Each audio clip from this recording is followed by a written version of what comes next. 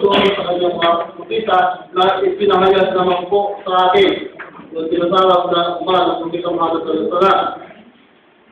Yung patungkol dito sa ano na sinabi ng sa mga na ako ay naghanda para sa aking matutuwid na alipin na walang matang nakakita at walang tayo nakarinig na walang isipan maaaring magpaliwanag at puso na nakadarama.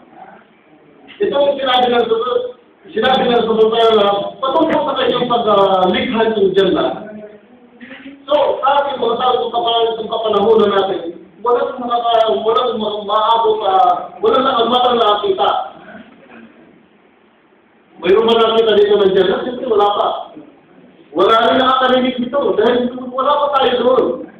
At wala rin puso na kadarama. Dahil hindi pa natin buko. Sapat na po ang Quran o mga salaysay ng mga hadith ng mga mga pagbitin. Ito nagpapaliwanag sa atin na ang ganda ay masaya, maliwanag at maganda. Lahat ang mga pangako po, binigay niya sa Montana ng kanyang mga mananampalataya patungkol dito sa Jannah. Maaari bang ikulit sa, ulit sa larawan ang Jannah? Sino?